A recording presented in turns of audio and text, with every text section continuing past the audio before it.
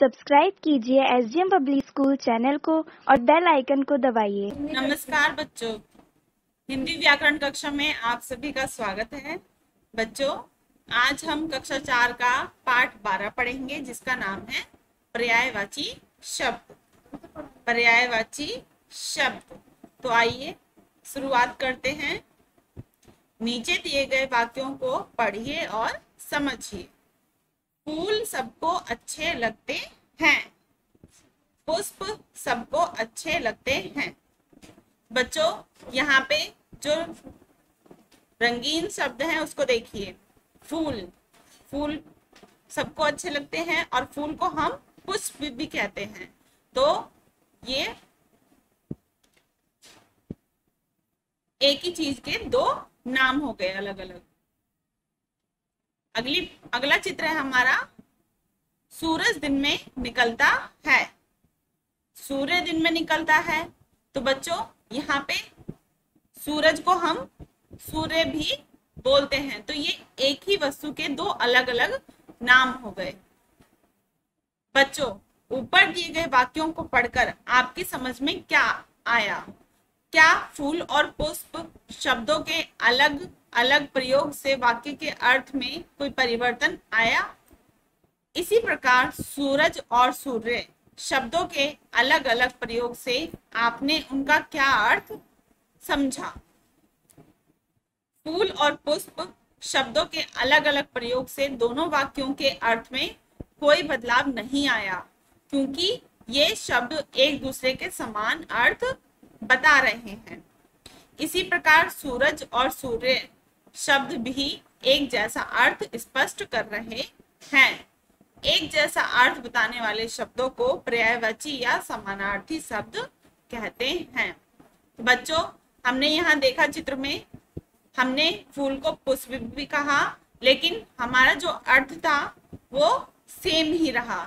यहाँ पे हमने कहा, इस वाक्य में हमने कहा कि फूल सबको अच्छे लगते हैं। दूसरे वाक्य में हमने फूल की जगह उसको पुष्प बोला। तो क्या उससे उसका अर्थ बदला? नहीं बदला, क्योंकि हम फूल को पुष्प भी बोलते हैं। दूसरे चित्र में इसी प्रकार से देखिए। यहाँ पे चित्र में कहा गया है कि सूरज दिन में निकलता है। तो यहाँ पे हमने जब दूसरा वाक्य पढ़ा तो उसमें सूरज को सूर्य कहा गया है, लेकिन अर्थ दोनों का एक ही हुआ। तो ऐसे शब्दों को हम पर्यायवाची शब्द कहते हैं। एक जैसा समान अर्थ प्रकट करने वाले शब्दों को पर्यायवाची शब्द या समानार्थी शब्द कहा जाता है। तो बच्चों, एक अर्थ प्रकट करने वाले शब्दों को हम पर्यायवाची शब्द कहते हैं। जैसे, आग। आग को हम अग्नि भी कहते हैं, अनल भी कहते हैं और पावक भी कहते हैं। लेकिन तीनों का मतलब एक ही होता है। आँख आँख को हम नेत्र, नयन, लोचन कहते हैं। आकाश आकाश को हम आसमान, नभ, गगन भी कहते हैं। इच्छा, चाह, कामना, अभिलाषा, ईश्वर, प्रभु, भगवान, परमात्मा, कपड़ा, वस्त्र, पट, अंबर, कमल, सरोज, नीरज, पंकज, कृष्ण कन्हैया, गोपाल, श्याम। कृष्ण जी के नाम तो आपको सभी को पता होंगे। कृष्ण जी को हम कन्हैया भी कहते हैं, गोपाल भी कहते हैं और श्याम भी कहते हैं। गंगा गंगा को और किस नाम से पुकारते हैं हम बच्चों? भागीरथी, देव नदी, सुरसरी। गुरु को आचार्य, शिक्षक, अध्यापक, घर को गृह आवास, सदन, चंद्रमा को चाँद राकेश, शशि जल को पानी, नीर, सलील, तालाब। तालाब को किस किस नाम से पुकारते हैं? सरोवर, तड़ाग, जलाशय, दूध, दुग्ध, शीर, पै। नदी, सरिता, तटिनी, तरंगिनी, पहाड़, पर्वत, नग, गिरी। पुत्र, बेटा, सुत, लड़का। पुत्री, बेटी, सुता, लड़की।